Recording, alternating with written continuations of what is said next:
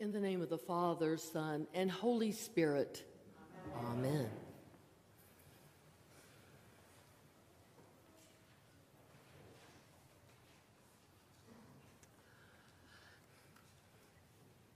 Up a desert mountain, brilliant blue skies, no haze, no humidity visibility for miles, sun squinting brilliance, four men in their prime, good friends, sharing travels, sharing meals, sharing one unifying purpose pause.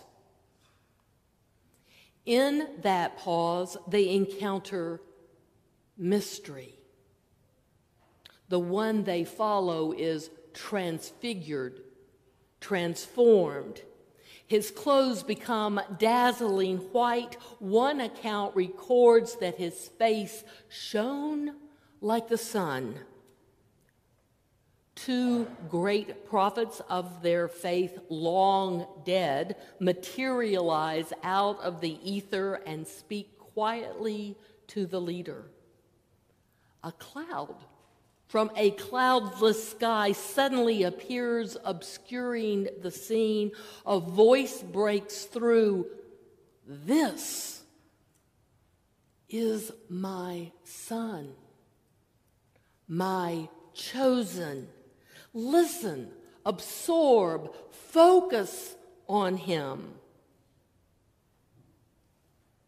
And it's done all effects disappear. No cloud, no prophets, no shining face, no dazzling clothes, no commanding voice, nothing to be mentioned. Down the mountain they come. The chosen and his dearest companions, Peter and James and John, they join the other disciples and strike out on the road to Jerusalem, where dangers of the empire and the enemies of our Lord lie in wait. Although they have been told more than once, Peter and James and John don't get what lies ahead. If they are terrified by a cloud on the mountain, imagine their fear when armed centurions, bound hands, a thorny crown, nails and crosses, and a shuttered room greet them. And while Jesus knows that his mission calls for his death, until it happens, there is hope for another outcome. So, this mountaintop experience at this time occurs for a purposeful reason. It will be recalled and savored in the days to come. In the troubling hours, in the swirling of their minds, they will remember the figures of their patriarchs and the voice of God assuring them of his power and his devotion to them and the universal consequence he has called them to do. The recollection will be encouraging and will help them endure until hope is made manifest. The church appoints this gospel passage for the last Sunday of Epiphany. It is the last lesson we will hear before taking up the readings of Lent. It is meant to be a gift for us as it was for the four men on the mountain that day. It is meant to encourage us as we face the suffering and the loneliness on the way to the cross. It is meant to help us hold on to double down on our faith until we encounter the risen Lord at Easter. It is a gracious gesture, and I appreciate the thought, but to be honest, it's not working for me this time around. I hope that's not true for you, but I suspect it could be.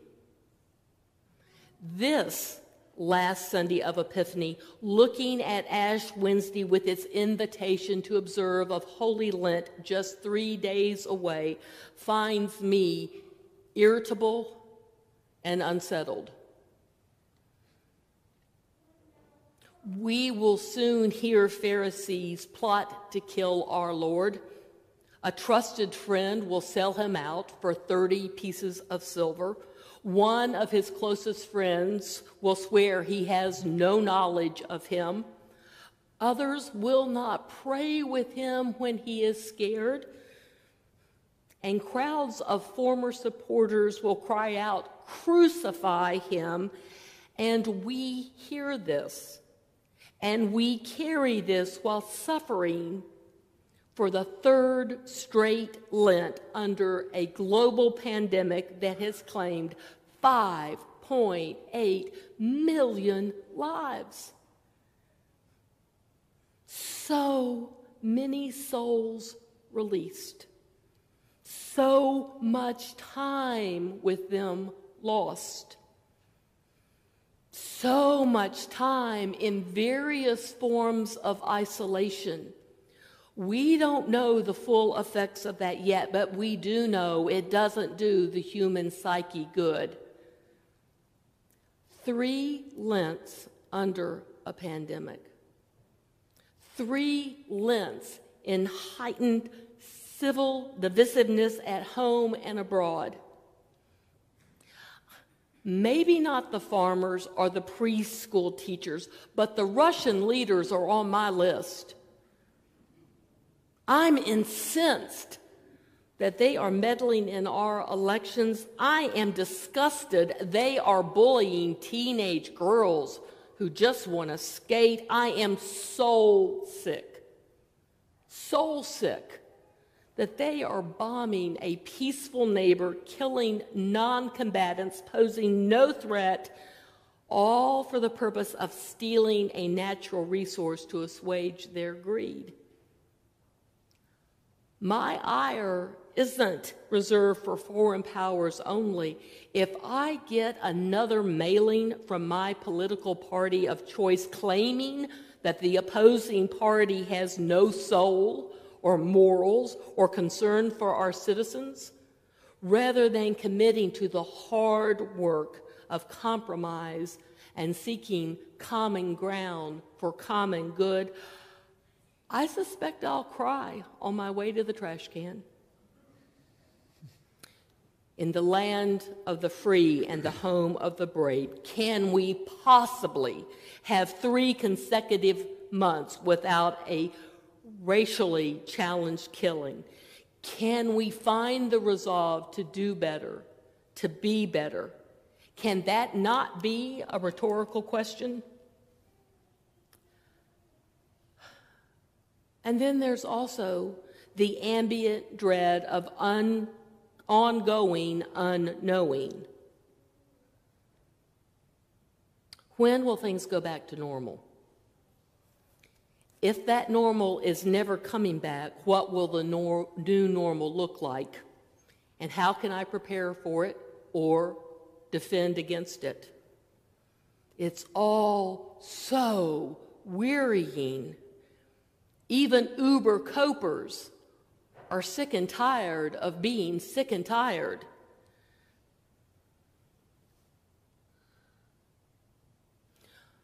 Beloved, here is true, here is what is true for me at this time. I love the God I know. I trust the God I know.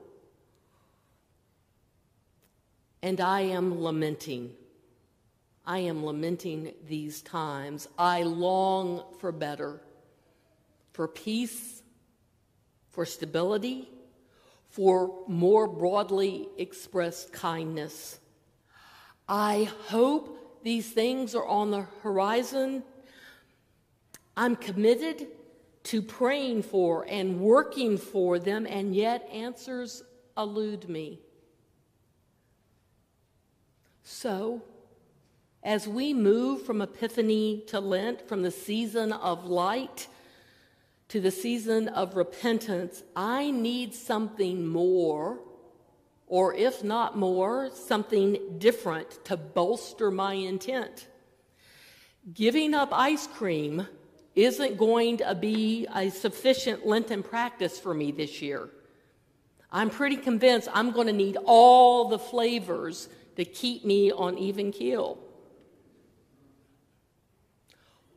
What I think will be helpful is thoughtful pre work.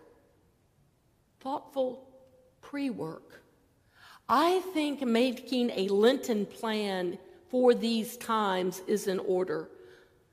I believe over the coming 40 days, time in sincere lament, naming before God the sadness of my heart for the human condition and our waywardness and our dependence on God's saving help will be beneficial. I think narrowing the scope of my longing thinking about specific places I can be a light in the world, and those places I should put down as worries for others to shoulder will be worthwhile. I think increased attention to signs of hope is critical.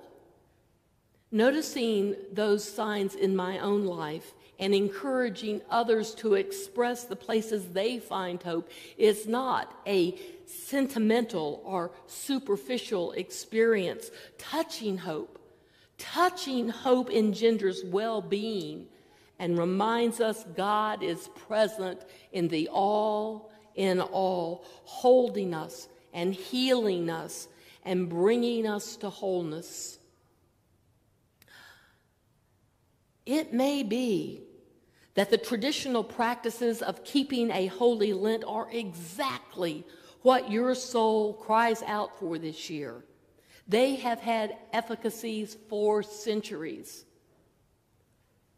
Or presence and worship the next six weeks up to Easter, or a conversation with your clergy about the lament or longing of your soul, or unvarnished coffee sharing with a church friend, or a walk in the park for a local food charity like the one happening Sunday afternoon, or St. Margaret's Saturday retreat on the 26th, where you look for signs of God in the midst of these troubled times. Maybe, maybe these are where God is calling you to meet Him. You, you and God know best what balm your soul needs. What is true for these times is that they are not dissimilar to the dark darkness that surrounded Jesus as he walked off that mountain onto the road, taking him to his death. There is sadness and heaviness to be dealt with, and there is promised hope to be embraced.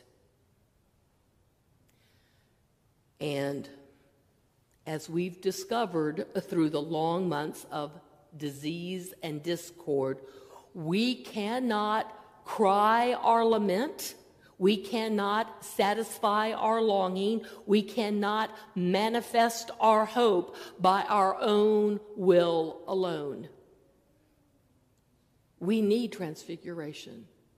We need transformation. We need God. This Lent, especially, do not be caught unprepared. Think about what you need for the journey from where you are to where you need to be the day of the resurrection.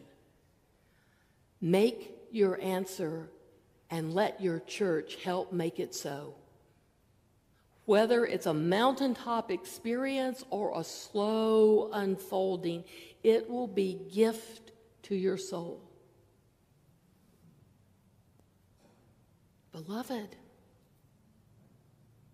God wants to hold our lament and answer our hope. We too are his chosen.